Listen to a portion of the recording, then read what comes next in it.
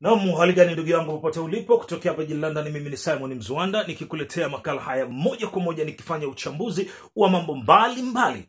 Na wengi wanapenda kusema ni Mziwanda. Hapana, nataka niwaweke sawa ndugu zangu, ni Mzuwanda, sio I ni you, ni Mzuwanda.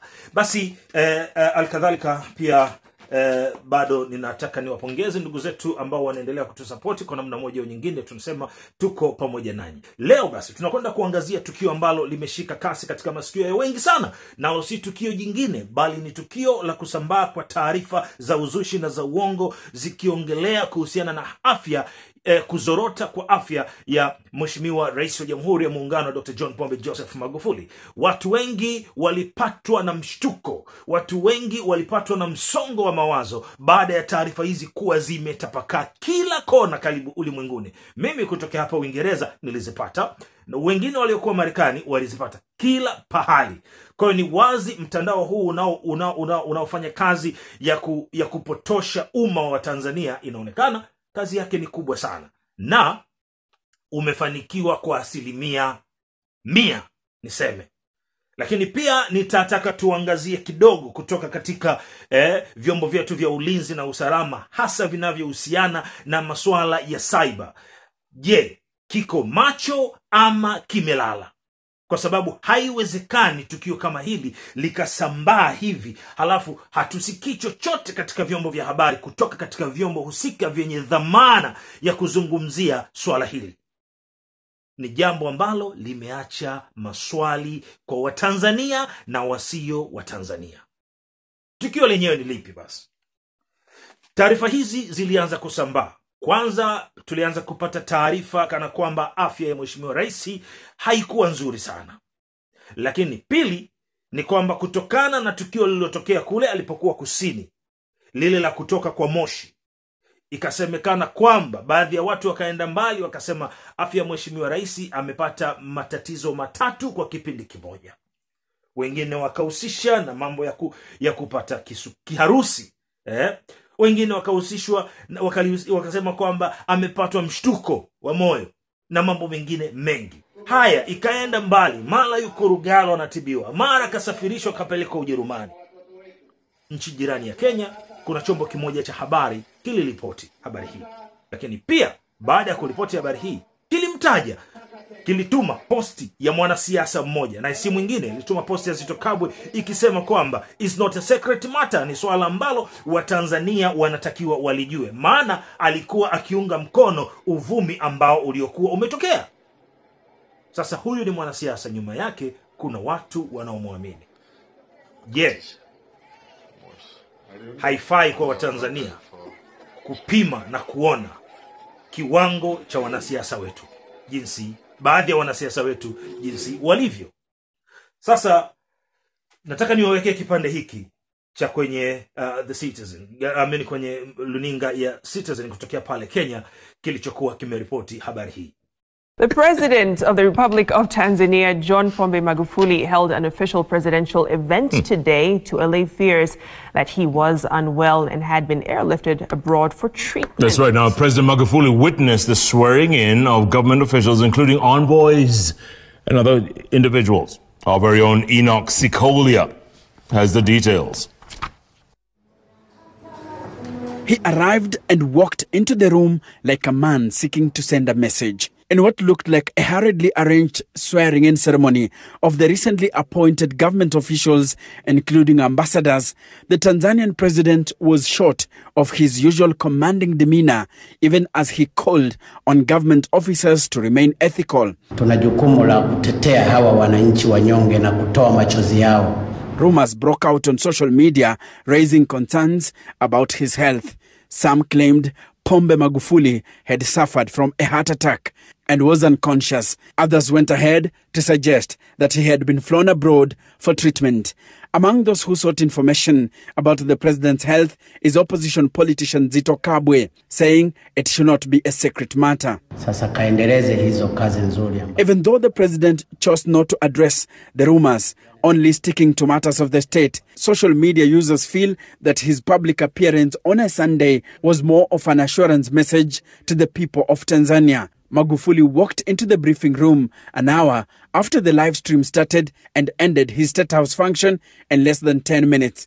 Enoch Sikolia, baada ya kutazama Citizen kipande TV. hicho sasa maswali ambayo watanzania wengi wanajiuliza tuliona waziri mwenye dhamana alitoka na kumnyoshea kidole mwanaharakati.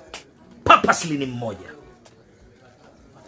Lakini katika sakata hili hakuna waziri ama wizara iliyotoa tamko jambo ambalo linaibua sintofahamu. Tuko rahisi tunafanya kazi it's very easy kwa sisi samahani ni rahisi sana kwa sisi kutoa taarifa za kina ambaruti eh, kwamba wamefanya makosa.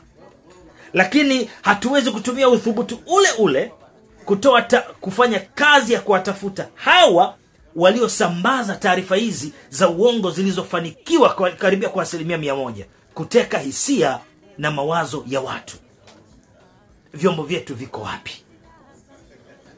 Ifike wakati lazima watu tuheshimiane. Haiwezekani mambo ya namna hii yakawa yanaendelea. Tunawapa watu msongo wa mawazo wengine kwa jinsi ambavyo wanampenda rais, wao. Wanaweza kupata mshtuko na wakapoteza maisha kwa sababu ya mambo haya. Sasa mimi nataka ni, nitoe tu rai. Kama kuna uwezekano tcra siamini kama watakuwa wameshindwa kwa kutafuta chanzo cha hizi habari zilipotoka. Na hatua itakayochukuliwa iwe ni mfano kwa wengine wote eidha wa ndani ama wa nje. Lakini kuna, ki, ki, kuna hiki kituo cha sheria na haki za binadamu. Tumekisikia sana kila kinapo, yanapotokea masuala ya kisiasa. Sana kimeshiriki. Na wao ni kama wanaharakati je walikuwa wapi kuzungumzia uvumi wa namna hii kisheria? Umekaaje? Na wao wamekaa kimya. Je hawa ni wanaharakati wa kweli ama ni wanaharakati maslahi? Ambapo wanaangalia wapi upepo upo wapi wanaweza kupaza sauti zao ili wafadhili nje wakawasikia na wao walisema ndio waweze kupatiwa misaada? Inatosha kuwapima watanzania. Hawa wanaojiita wanaharakati ama hivi vyombo hivi hizi taasisi ambazo zinapewa fedha kutoka katika mashirika mengine makubwa ya nje. Ni wakati wa tanzania sasa wa kutathmini.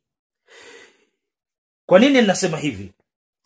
Mtayasikia mengi sana kumhusu dr john pombe joseph magufuli. Mfano mkubwa wakristo wa Kristo wanafahamu habari ya yesu. Alipigwa mawe kila upande ila waliosimama naye mpaka mwisho walifaidika. Na watanzania wa hali ya chini huyo ndio mkombozi. Huyu ndio mkombozi. Atapigwa vita na watu ambao hawamtakii mema. Tunamshukuru mungu ni kwamba uvumi ule alikuja kwa neema ya mungu huyu mwanaume akasimama mbele ya, mbele ya hadhara akaapisha wafanya aka- aka- akawa- akawapisha viongozi wa idara wa idara zile mpya aliyowateua na kazi ikaendelea. Nataka niseme ifike wakati wa tanzania tusiwe kama matango pori. Lazima tutambue ni nini ambacho tunakitaka. Tulikuwa hatuna haya mambo yote leo tuko nayo eh? na nataka niwaambie wasiwasi mkubwa ulioko wanaoyapika haya na kuyafanya. Nataka niwaambie lengo lao ni kuturudisha katika umaskini ambao tumeshaanza kuutoka. Brazili ilitokea walikuwa na mtu kama magufuli aliyefuta madeni aliyewajengea miundombinu thabiti aliyefanya maisha yao yakawa ni bora. Alipoondoka na alikuwa anapigwa vita kama ambavyo magufuli anapigwa vita. Alipoondoka miaka miwili brazil ilirudi nyuma 10 times. Sasa nataka niwaambie tunajifunza kutoka katika maeneo mengine. Tunajifunza kutoka katika maeneo mengine. Hawa ambao wanapiga kelele hawa inabidi ifike wakati wa tanzania tujue kuchagua mchele na pumba ni zipi. Sasa basi tumeshuhudia pia bwana siprian musiba naye tuliona kama vile ametoka ametaja baadhi ya majina ambayo yameshiriki katika kufanya tukio lile la kidhalimu. Na mimi ninaamini dunia yoyote chanzo cha taarifa bora hutoka kwa wananchi. Taarifa zozote za kiharifu chanzo chake hutoka kwa wananchi hawa raia. Bwana agrey mwanri alipigisha kura za siri kule katika ule mkoa wake na aliwapata washukiwa wa matukio yasiyofaa ama matukio yasiyokuwa rafiki kwa raia. Mataifa yaliyoendelea ndiyo yanafanya hivyo. Sasa mwandi ambaye anataka ile, ile, ile, ile lile eneo liwe canada anafanya mambo ya kiulaya. Anafanya. Na kwa kufanya hivyo manake hawa raia watawasema wanawajua. Sitaki kuamini kwamba tcra umfupa umewashinda wa kumkamata huyu ambaye anatoa taarifa za uongo kila kutwa kila kuchwa. Haiwezekani. Inawezekana vipi? Lakini rais wa jamhuri ya muungano wa tanzania yu angali salama na anaendelea na kazi zake kama kawaida. Na nataka tu niwakumbushe hebu nataka muhesabu zile siku ambazo ametembea na kufanya ziara kama mwanadamu wa kawaida je ungelikuwa ni wewe? Ungeweza? Huu ni mwili. Mwili huu unachoka wakati mwingine. Na yeye ni mwanadamu si malaika. Kwa hiyo si kwamba hata akiugua mafua iwe ni, iwe ni, iwe ni matangazo wengine msherekee. Mnasherekea nini? Ni udhalimu na ni roho mbaya ambayo haina maana kabisa ifike wakati wa tanzania tujue ni nini ambacho tunakitaka. Mimi sina la ziada. Nyuma ya kamera tulikuwa na bwana henry henry mdim ambaye yeye ametushikia kamera lakini upande wa pili mhariri mwandamizi eh, ni bwana harid mkali. Pia niwakumbushe tu msisahau kusubscribe na kusambaza habari hizi kila mnapoona zinafaa ili tuipate tanzania iliyo bora na watanzania walio makini wenye kujua ni nini wanachokifanya. Mpaka wakati mwingine mimi ni simon mzoanda kutokea hapa jini london nchini uingereza. Chao